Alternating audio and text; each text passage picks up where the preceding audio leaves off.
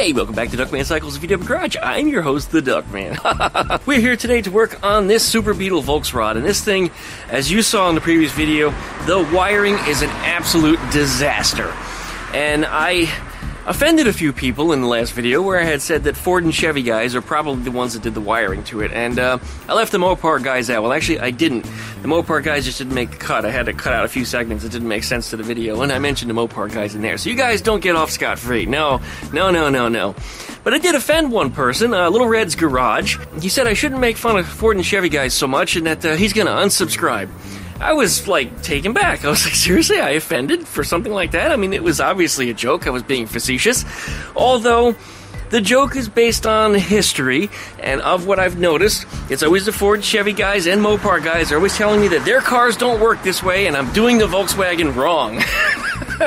well, anyway, we worked out the disagreement, and I explained that it was just a joke, and I was just trying to have a little fun, and everybody else in the comments seemed to understand. Although a few people did say, "Hey, don't make fun of the Chevy guys." I was like, "What does that mean? The Ford guys are fair game?" I guess so. I mean, I don't know. As far as I'm concerned. If you're not a Volkswagen guy, you're not a Volkswagen guy. And if you never had a Volkswagen, you never worked on a Volkswagen, you don't understand the idiosyncrasies of a Volkswagen, you're not going to get it. You're just not. And that's one of the reasons why so many things on these cars are always just wrong when you get them. Anyways, we're going to jump into this thing with both feet. Uh, I'm going to tear that wiring harness apart because everybody's telling me you can't fix that or it'll take too long to fix it. When I think, in fact, I can repair it faster then I can actually reinstall a brand new harness and for a lot less money. So we're going to attempt that today. Let's see what I find. Don't forget to licky, likey, comment, and subscribe. Plug the dingle to get updates every time I video. Check out Duck. Check out duckshit.net for all my different social media links. Thanks everybody for watching.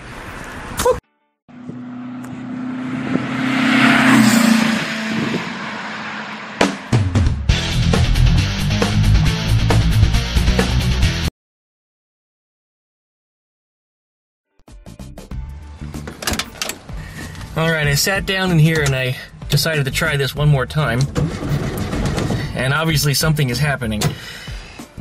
When I messed around on the back side of the dash here, there's a whole bunch of wires that are just all matching colors that the previous owner had done to this, and uh, they are twisted together in a bundle and not very well twisted. They probably need to be soldered or maybe a wire nut put on their junction block or something, anything better than what they've got. And all they did was touch it and suddenly things are starting to work again, which is really weird. but no fire, of course. We're gonna have to put some gas in it. There's no gas in this thing whatsoever. Backside of the dash here, this is where those switches are at. You see these wires here that are all bundled together. Um, that's not factory, very clearly not factory. I don't know what the hell that previous owner was thinking, but that is the little mess there that I was just twisting the wires together. Um, because, well, they already are together. Again, I can't do any more damage to what's already here. So, I made that bundle work. This is not attached to anything. I don't know what the hell that's supposed to go to. Maybe nothing. Maybe it's supposed to go over to the gauges. Uh, we got another loose wire, which is, well, it's, it's part of that bundle. Again, I don't know what the hell that goes to. So, we got some stuff to sort out on this, and uh, before I even attempt to try to run it or or get this thing driving, um, uh, yeah, I got a lot of things I'm going to play with. I'm going to try to rip out a lot of these extra wires and try to hook up the factory harness. Um, it doesn't look like it's cut in any way. Anything that looks like it's just added to it. So I'm going to see what I can do about poking around and getting the thing fixed. So uh, let's see what we got. If we're going to use those switches on the dashboard, I'll just connect them to the stock harness and put everything back the way it belongs so it's properly fuse protected because none of this stuff is. And I mean zero. Yeah, this is what I'm talking about. Wires just running everywhere. I don't know what the hell goes where. There's a red wire here that's not even connected to anything. There's another red wire here that's going up under the chassis, which is going to a fuse block, which had a fuse in it. I knocked it out of it just now. I don't know where the hell it just went. But anyway, this is uh, clearly not factory either. I'm going to have to start going through here and eliminating a lot of this stuff. Um, the regulator over here appears to be alive. There is juice going to it. So it is connected, but not connected properly. This thing also has an alternator on it, so that regulator actually needs to come out anyway. And that's even if the alternator is working. I don't even know. Gonna have to trace the wires back to that too, but I think we just might start there. Let's go ahead and remove this regulator and hook it up correctly. Alright, it was just two Phillips head screws holding this thing in. There's one of them. I dropped the other one, so it's down there somewhere on the floor. But we'll get to that in a minute. Um, this wire, of course, is hot. So before I do anything, let's disconnect the positive. Well, you know what? That one appears to be welded on now. I don't know why, but it's stuck. We'll just take the negative off then. As long as there's no juice flowing through it, we're good. Now I can take these off. Might be kind of difficult to do with one hand, but we'll give it a shot. Here's the one. And here's the second one. And then we have the green and blue wires, which is for the uh, generator idiot light, which we will be reconnecting for the alternator idiot light. But, all right, I'm gonna have to get in here with some needle nose pliers and use two hands. Yeah, they're pretty well stuck on there. A little bit of corrosion, it seems. Yeah, it was a little bit of fight getting those off, but they're off of there. Alright, we're going to take the ground wire off of here. And because the ground, well, just goes to ground, this wire could either just be bundled up and tied out of the way, or you can take one of the generator screws and just run it back into the chassis. And that's what I do, just to tuck it up out of the way, keep it so it's not going to disturb anything. That'll be attached to there just like that. We'll tighten up that screw in a minute.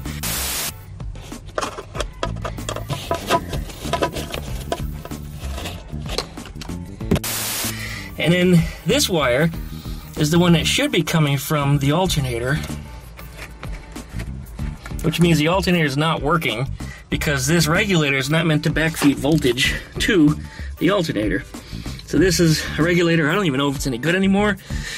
Based on the way they had it hooked up, it's anybody's guess, but we will try it in another project just see what happens. But it's a proper Bosch one, that's good. Made in Germany one, it's not one of them garbage ones from China. Alright, under here, we have those three power wires. There's this one, there is this one, and then there's the one that comes from the alternator. What I like to do here, and uh, I'm going to do the best I can to do this with one hand, and anytime I've done these, I typically take these two connectors and I just kind of slide them into each other here. See these two connectors just go like this. There you go. Now they're bundled. Then you can take the other connector here and just push it in into the end here. And you might need a pair of pliers to do this, but actually that worked out pretty well. Now you got a proper bundle, and wow, that's really, really tough. Sometimes if they're a little weak, you can crush them together with a little pair of pliers. But make sure that you either put some shrink wrap around this before you do all that, or use some electrical tape here to bundle it. The next thing you do is you take the blue and the green wires, and these also go together. This is going to be the little thing that your alternator sends a signal to the, uh, the dummy light on the dashboard. Anyway, I'm going to need two hands for this one. This one's fiddly. Yeah, they are pushed together. We'll get these things bundled up. I'm just going to put some um, Gorilla Tape around it just for the minute, just so nothing touches anything. I might have to come back in here and take this stuff back apart, because if none of this works, guess what? It's going to get a generator back on this thing. Alright.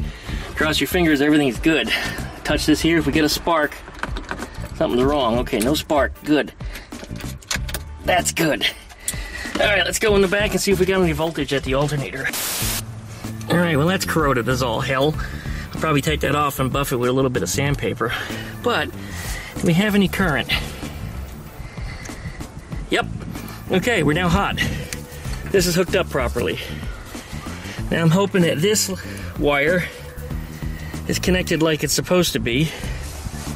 Because that's not the right color. Well, neither is this one for that matter. They go into this bundle. This does like it have, looks like it has the right colors in there. Okay, so somebody shortcutted something, or literally cut it short instead of shortcutted. and, uh, butchered this harness. This probably is because it had an engine fire probably the uh, the Dodge guy. We already wrapped on the uh, Chevy and the Ford guy. So this was the Dodge guy that did this crap. Here's our ignition wire. Bundled all by itself instead of where it's supposed to be. Probably one of these two. And I believe it's usually the black wire. So we're going to investigate that because if that's what it's supposed to be, we're going to put a little extension on there. Maybe just even use this, reconnect the two and put them back together. White wire, ah, could be mistaken, but I think that has something to do with tail lights. And we'll come back to that. This carburetor doesn't have a choke on it that I'm aware of. No, it doesn't, so there's no wire that's coming out of there for that. All right. Um, well, one step closer. okay, I went and I grabbed this coil wire and I started wiggling it. And if you look down in there, you can see that fuse block that I was pulling on earlier. Yep, that's connected to that wire. So that's the reason why we have no spark. That's the reason why it didn't light off, not because of fuel specifically, but because there's no hookup. It's not actually hooked up. Okay, well, we're gonna try to see if we can get it back into the stock wiring harness the way it's supposed to be. Um, I think what I'm to do is I'm to rewire that bullshit switch onto the dashboard. Since the ignition switch, or the key, has been removed. This is a rat rod, so that's okay. We're not worried about security or theft on this thing. There's ways to prevent that anyway. But uh, yeah, I think that's what we're to do. So we're going to try to rehook this the way it's supposed to be and get it run back where it's going to go. All right, well, I got a little bit of work here ahead of me. I think what I'm going to do is I'm just going to take all these idiots' wires and just disconnect them. Just disconnect them and go back with the factory harness. Ah, what a bullshit mess. all right, here's these mess of wires. Just start pulling things out. Whoa, those aren't even connected to anything. We're just to leave that here in that little bin then. MSD distributor here. Got this wire. Apparently goes to nothing. It might actually go to the headlights. This is just a friggin' mess. Look at this. Oh my god. the red wire here, which also went to nothing. And that. All those. And then up under the dash here, we're gonna grab that three wires the brown one, which is the ground to the headlights, which can go anywhere, it doesn't have to run back to the battery. A blue one that goes to nothing. This blue wire, which I think is the one we just disconnected. Here's the red wire. This is the one that was connected to the ignition switch. Mm. Sometimes it's just easier just to completely start over. I don't even know what that wire goes to. Or that one. Oh my god. Maybe those go to the taillights or something.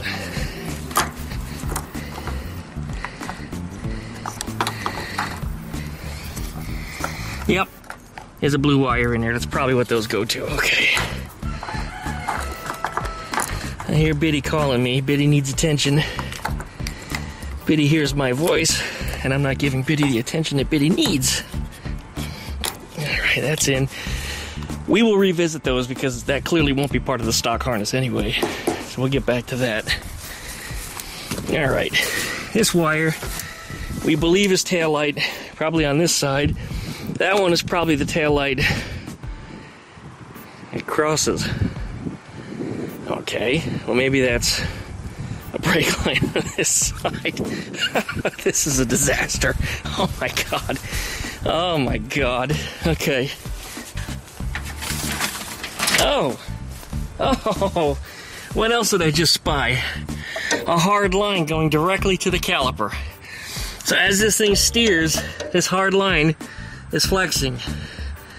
Or wait a minute, no it's not. It's connected to a soft line. I don't know if that's correct on here or not. I'm gonna have to come back to that too. I'm not super Beetle proficient, so Somebody out there watching this probably already knows the answer to that. All right. All these wires are just to come straight out to here. Get them out the way. Transmission nose cone. Don't know why the hell that's in there. Panel to something, don't know what. Hey, look, the sun is lighting us up. That's great. I Wonder how long I'll have that for. Okay, this one is going into the fuse block.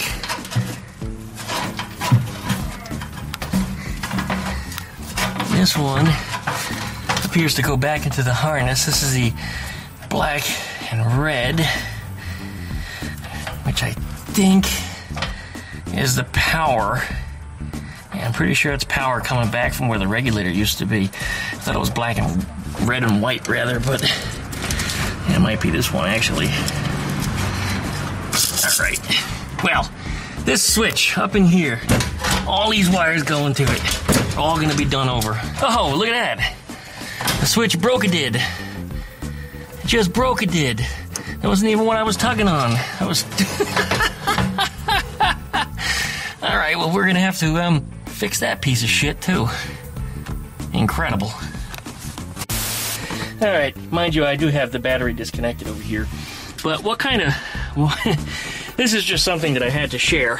What kind of wiring harness runs down the right side of a tunnel in a Volkswagen?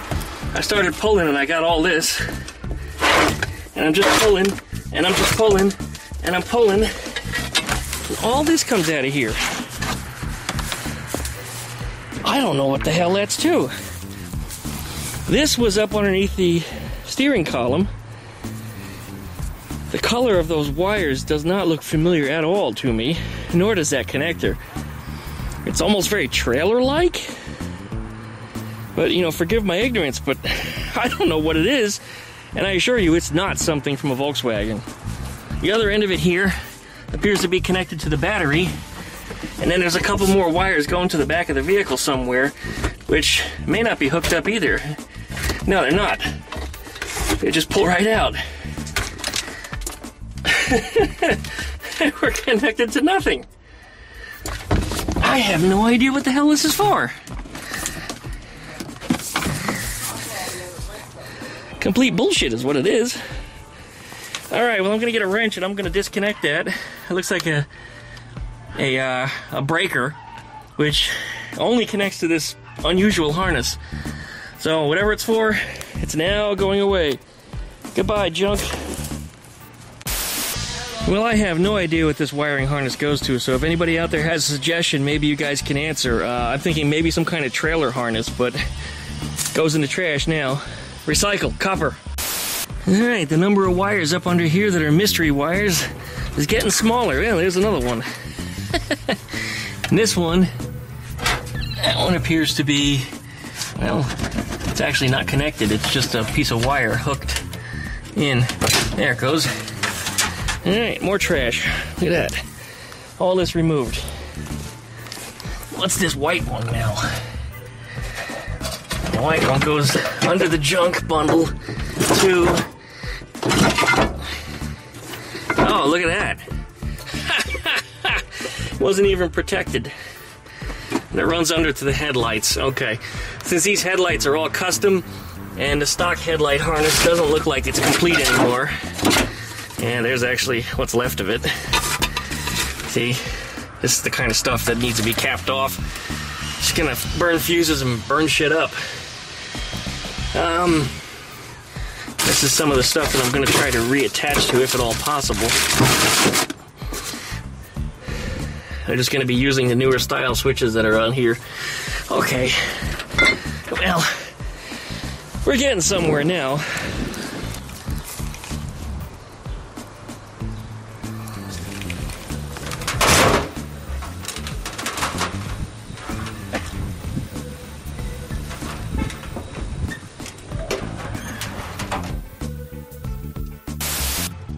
Okay, all that bullshit wiring was removed up under here, and then just using stock wires, I feeded them through the hole in the dash here. It's actually the radio hole, and I removed the switch panel.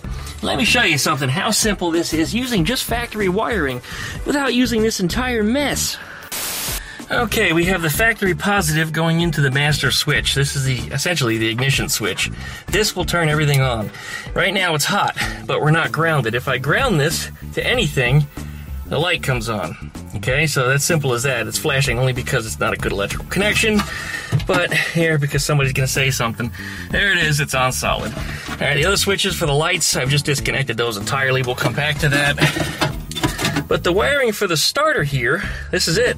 It's as simple as just and I'm serious. It's all right here. Just you could tap into the factory wiring. Why these guys made a damn mess out of this is anybody's guess. They actually made it more complicated than it needs to be. But the backside of this switch, well, it looks like it's missing something. There's components that appear to be just just gone. Um, this here is part of the switch that looked like it broke off earlier, but I don't think it's well. Maybe it's a little broken. It's tough to say. It looks like there's a switch or something, or a, a screw or something missing from it. But this goes here somehow, and then there's a module that goes in the middle. Now, I didn't get a good look at it first. I'm going to have to look at some of the old videos and see what I had going on here. But chances are I'm going to have to replace this switch anyway. This thing just looks like it's a piece of shit. So I think there's a whole mechanism that's supposed to be inside of this. It's just gone.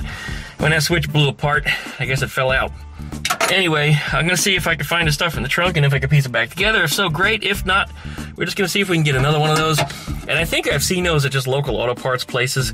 So I'm going to see if I can just pop it out of the panel and just replace it. If not, we'll just get something else similar to it and put it back together. But I think we're at a stopping point. So everybody, thanks for watching. Licky, likey, comment, and subscribe. Don't forget to plug that dingleberry so you get updates every time I upload a video. Check out duckshit.net for all my different social media links.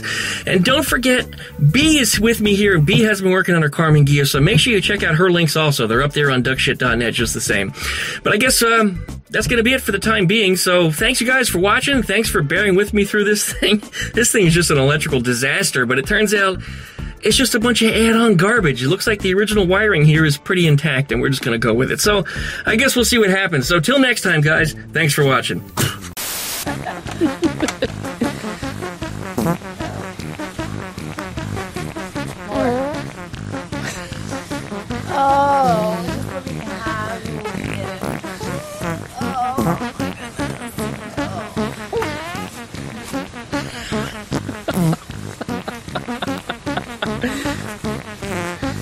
Tip for you.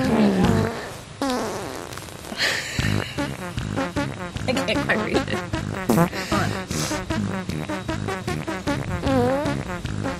Hell yeah, brother!